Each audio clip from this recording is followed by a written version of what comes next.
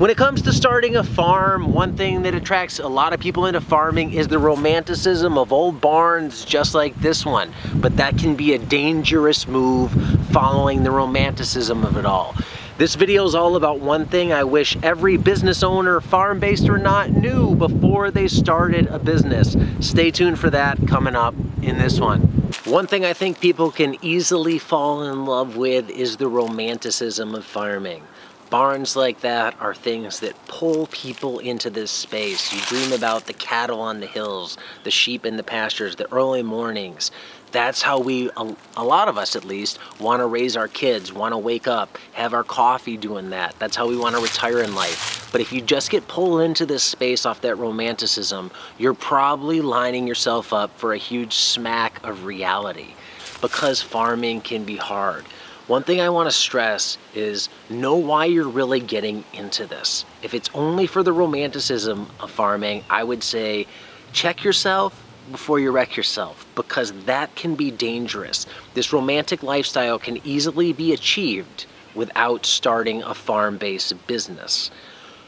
What you got to realize if you're coming to chase that lifestyle, it's probably not going to be the lifestyle that you envision when you get there. Sure, it'll be great, but it's gonna be a hell of a lot of work. From really famous farmers like Joel Salatin to other people I've met on this trip that I'm on, that's the stories that I hear. Yeah, the lifestyle is great, but it's a hell of a lot of work. There's a hell of a lot of trade-offs and there's a lot of sacrifices to make it happen.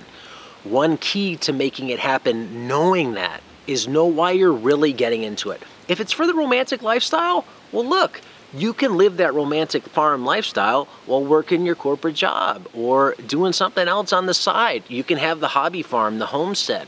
You don't necessarily need to make the farm cash flow to live the lifestyle. If you want the lifestyle, create the lifestyle.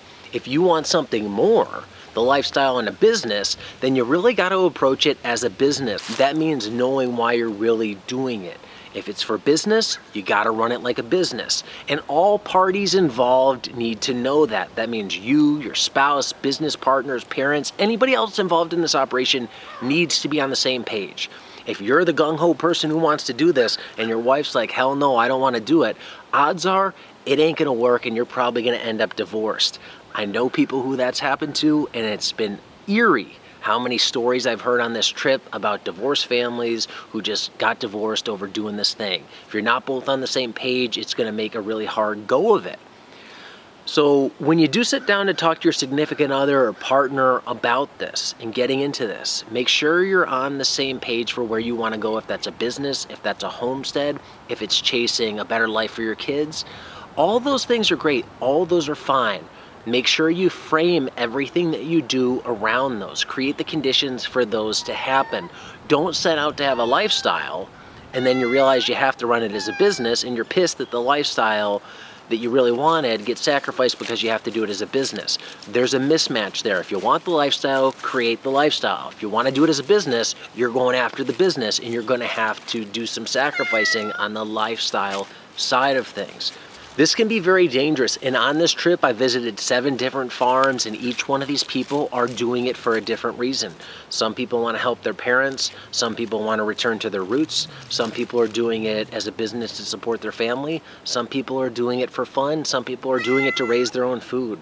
There's a lot of reasons to get into this. There's a lot of reasons to homestead, to farmstead, or to farm just make sure you know why you're doing it initially and make sure you put in turn and make sure at that time you put in place a plan of action that lines up with those goals. Don't go for the mismatch. Make sure everybody's on the same page. And hopefully, even if that thing that you're trying to do doesn't work, you'll make it through as a unit together. That's what's important at the end of the day. Farms can fail, businesses can fail, homesteads can fail. They can always be rebuilt in the future.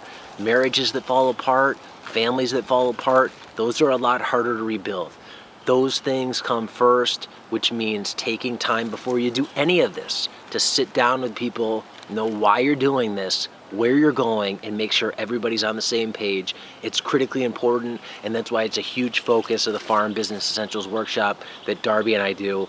It's something I've had a lot of stress with in my relationship when I started a business around the conference years ago was facing this challenge of trying to maintain a business and a relationship at the same time when me and my wife, I think, were on very different pages.